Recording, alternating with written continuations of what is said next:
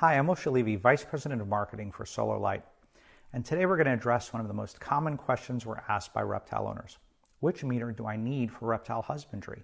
The Model 6.2R Reptile UVB lamp meter or the Model 6.5R Reptile UV index meter? Well, ideally, reptile keepers are going to want both meters, and here's why. The Model 6.5R Reptile UV index meter's erythemally weighted action spectrum is extremely close to the action spectrum for vitamin D3 synthesis. It's ideal for determining proper UV dose for your reptile per the appropriate Ferguson zone for the species. In fact, the 6.5R's readings can function as a proxy for the vitamin D3 producing ability of the habitat's light source. Meanwhile, the Model 6.2R reptile UVB lamp meter is ideally suited to determine if the UVB lamps are performing to manufacturer specifications, gauge their intensities, and measure their aging over time.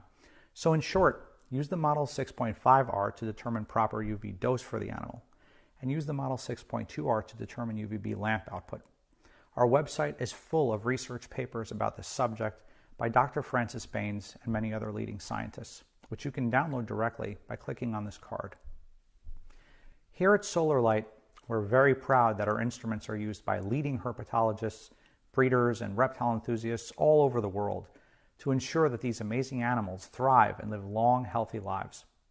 For more technical information on the Model 6.5 Reptile UV Index Meter or any of our other products, please visit our website at solarmeter.com or feel free to drop us a line at info at solarmeter.com.